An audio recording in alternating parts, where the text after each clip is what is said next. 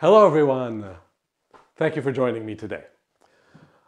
On this table in front of me, here you see the components of a musical instrument called the speaker driver instrument. We've got uh, a regular electronic keyboard here. The signal from the keyboard goes to this amplifier, and from there it goes to this speaker.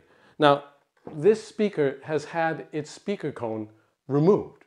So when the signal comes in from the amplifier, the speaker driver vibrates as it should in response to the signal, but with no diaphragm there, with no speaker cone there, um, it's very, very quiet. In other words, it's not functioning the way a speaker usually should or would. Okay, and we have one more component here. That's this little piece of sheet metal, little piece of sheet metal uh, with a piezo pickup on it. And the signal from this piezo is going to its own amplifier and speaker to play the thing, I, um, I play the keyboard with my right hand. And with the other hand, I hold the little piece of metal with the piezo, I hold it against the speaker driver.